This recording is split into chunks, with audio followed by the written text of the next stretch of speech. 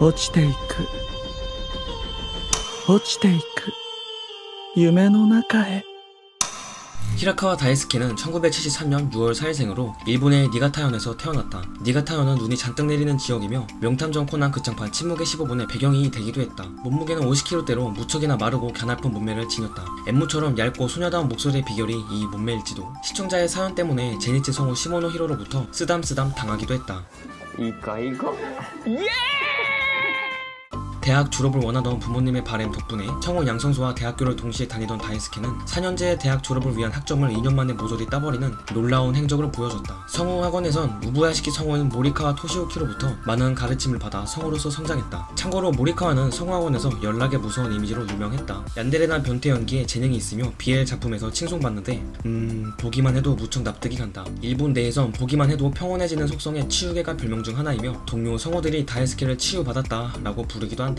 어렸을 적 아빠가 피는 담배가 싫었던 다이스케는 아빠가 담배 불을 붙이는 순간에 물총을 쏴버린 적이 있다고 한다. 취미는 스노우보드 타기, 특기는 요리라고 한다. 데뷔작은 미국 영화 티벳에서의 7년의 더빙인데 처음 맡은 작품의 대사는 티벳어였다. 영화 더빙 중에선 이미지가 비슷한 마블 영화의 로키 역을 맡기도 했다. 성우가 되기 전에 꿈은 보육사였으며 성우가 된 이유 중 하나는 아이들을 즐겁게 해주고 싶었기 때문이라고 한다. 심각한 게임치라고 하며 슈퍼 패미컴이 나왔을 당시에 컨트롤러를 꽉 잡고 싶어하던 그는 위에 추가된 LR 버튼을 어떻게 눌러야 되냐며 당황했다고 한다.